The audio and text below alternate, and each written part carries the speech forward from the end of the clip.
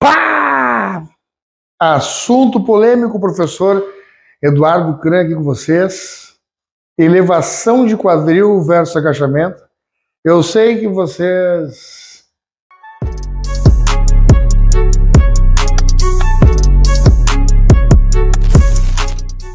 sabem aí que tem muita gente, ou algumas pessoas, ou uma em específico, que critica muito a elevação de quadril, então, para isso, eu trouxe hoje para vocês isto: elevação de quadril versus agachamento.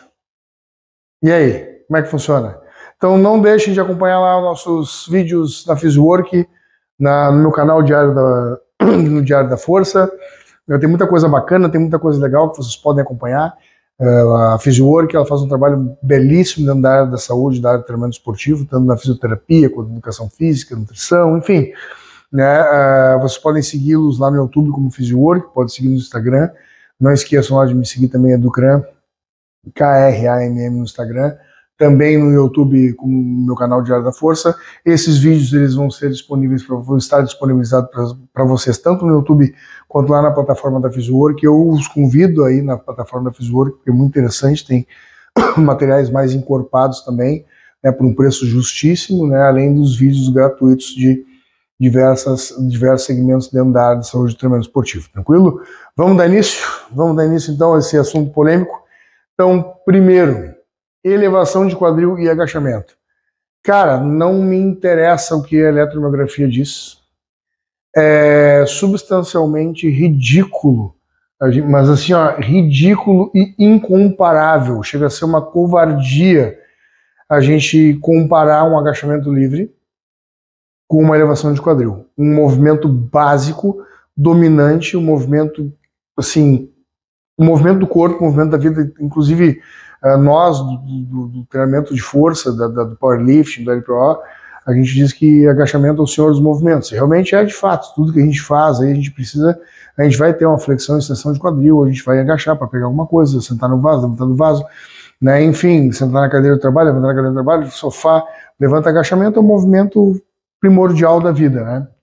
Não tem como a gente fugir dele. E é, é, não tem a menor possibilidade da gente comparar esses dois movimentos, primeiro porque biomecanicamente eles são completamente diferentes. Os braços de alavanca eles são completamente diferentes.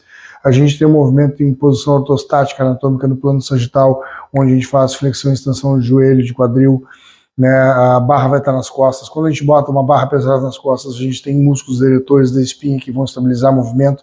Cara, é impossível a gente fazer comparação de um movimento tão grandioso, multiarticular, global, quanto o agachamento com elevação de quadril. Eu não estou dizendo que a elevação de quadril é ruim, pelo contrário, elevação de quadril se faz assim, muito importante porque ela potencializa a cadeia extensora do quadril, ela potencializa o próprio agachamento e ela auxilia também na reconstrução de desvios posturais ocasionados por, por uh, desnivelamento de quadril ou até por, por falta de tônus muscular no glúteo esquerdo ou direito, a gente precisa adaptar. A gente pode trabalhar em cadeia cinética aberta ou fechada, de forma unilateral ou simultânea, para poder, inclusive, trabalhar essas, essas, essas interferências estruturais que a gente vai adquirindo durante o treino, até vem com uma bagagem com as pessoas que vêm treinar conosco. Então não tem como a gente fazer essa comparação. Então quando a gente diz que um é melhor que o, o outro é ridículo porque é incomparável, né, é impossível. É a mesma coisa que, que a gente compara refrigerante e cerveja, né, o que, o que um faz, o que o outro faz, o quanto que o seu refrigerante deixa bêbado e quanto a cerveja não te deixa bêbado, é impossível, não tem como comparar. Tá, o agachamento ele é um exercício de múltiplas articulações, vocês muito bem sabem. Dentro dos esportes de alta performance, a gente tem o agachamento low bar e high bar, que vai fazer uma, uma diferença também no acionamento de determinados grupos. O agachamento high bar ele vai ser jogado, ele tem uma dominância muito grande de joelho e de quadril, tanto que os quadríceps e adutores são bem utilizados, cadeia glútea também. É um agachamento mais verticalizado.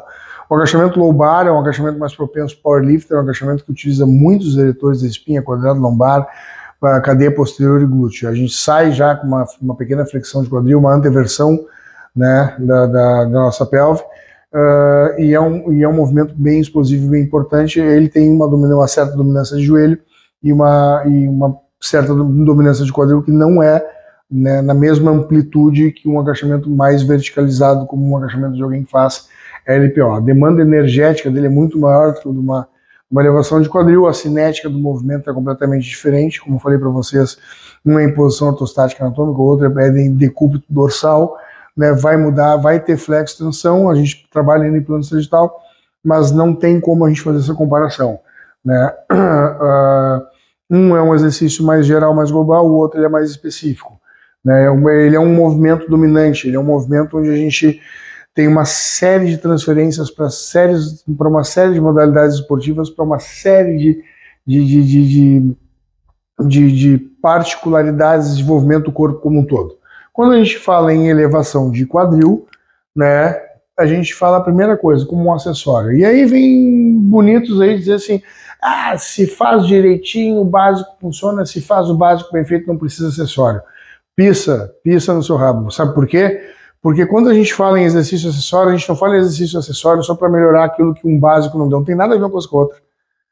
Por exemplo, um agachamento lombar onde eu perco um pouco do movimento total da amplitude dele por conta da limitação imposta pelo posicionamento da barra, eu, se eu usar a elevação de quadril com bastante força, eu aumento a potência da minha extensão de quadril e, consequentemente, eu consigo finalizar um agachamento melhor. Se eu tenho um glúteo maior, um pouquinho maior que o outro, eu consigo trabalhar o agachamento de forma natural, mas ele está hipertrofiando um pouco mais, porque eu tenho um desnivelamento pélvico, eu tenho um desnivelamento de quadril, eu tenho uma hipotonia ali causada por uma descompensação mecânica advinda de um desvio postural, eu vou usar um, uma elevação de quadril unilateral, por exemplo, como um exercício acessório para recuperação até de, de, de, perimetria, de uma questão de, de é, dentro de uma questão de simetria, por exemplo, entre os glúteos, né, a, a, não somente para uma produção de força específica. a elevação de quadril é mais pontual para determinados fatores. Vários esportes onde a gente tem sprints arrancados com força, além de usar muito a cadeia posterior e isquiotibiais, a gente tem também a utilização do glúteo como um potente extensor de quadril ele é pontual para determinados esportes. Quando a gente fala em acessório também, quando a gente fala em acessório, a gente está falando em acessório para melhorar, e olha, eu vou lá longe, ó, para melhorar o próprio agachamento, porra. Então, se a gente tem uma potente, uma potente extensão de quadril, obviamente o nosso próprio agachamento vai ganhar ali uns quilos a mais por conta dessa força explosiva que o, uma extensão de quadril pode nos proporcionar. A cinética do movimento também é completamente diferente. Ele é um, um ele é, ele é um, um, um movimento que te proporciona maior potência né, na, na, na articulação do quadril e ele tem uma transferência muito importante para o back squat, low bar ou high bar, e ele tem uma transferência muito importante para outros exercícios pliométricos, por exemplo, como salto. Ele tem uma transferência importante, isso é elevação de quadril falando né, falando da elevação de quadril. Então, uh, são situações completamente diferentes. Quando a gente compara um com o outro em questão de eficiência de hipertrofia do glúteo, de eficiência de hipertrofia, de eficiência de trabalho neuromuscular, não tem como fazer essa comparação porque a gente não. É óbvio, é óbvio, é óbvio. É a mesma coisa que eu falar que o ovo é oval, seu idiota. Uh, uh, é óbvio que o agachamento é muito mais eficiente nesse sentido.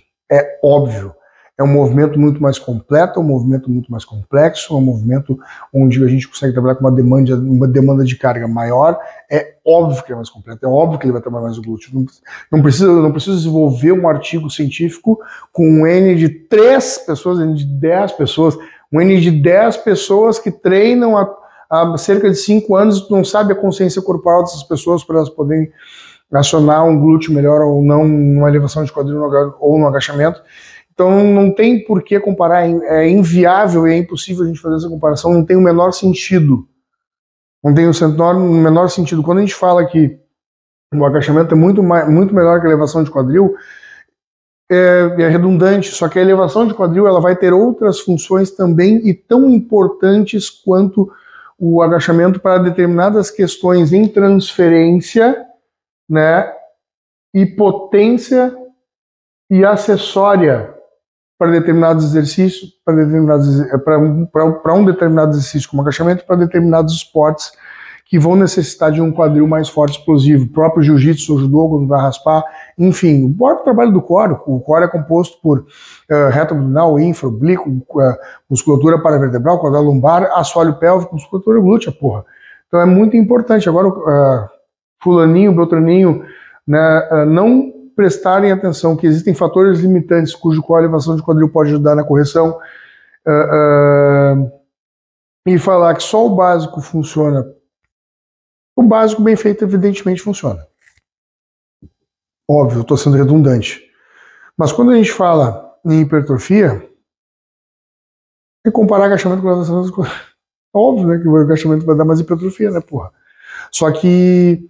E se a gente agacha com aquela alteração de quadril? E se tem um membro mais encurtado?